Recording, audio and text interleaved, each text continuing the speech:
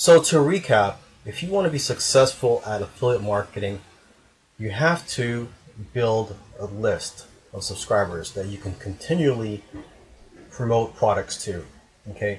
Um, in, in another video, I also taught you how to find affiliate products to promote, and I also recommend you do or create review videos to separate yourself from the competition, and also to give more information on the products to your customers so they know that they're buying, so they know what they're buying and that it's a high quality product, and also you know they're going to see your honesty too as you point out uh, the negative features of the product.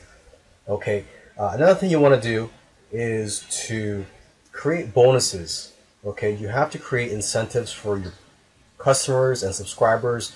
And as i stated earlier there is a lot of competition out there so you have to give them a reason why they should buy from you okay now some other tips here when you're emailing your list, don't just use the swipes that are provided to you. Because a lot of these affiliate products have email swipes that you can just copy and paste into your autoresponder.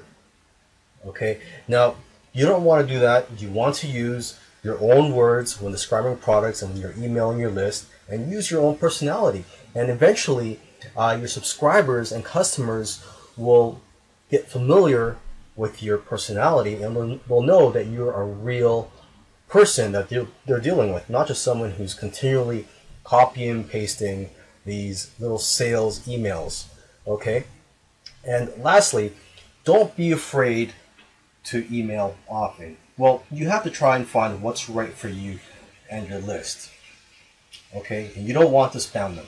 Okay? I email my list every day if I can. Sometimes twice or even three times.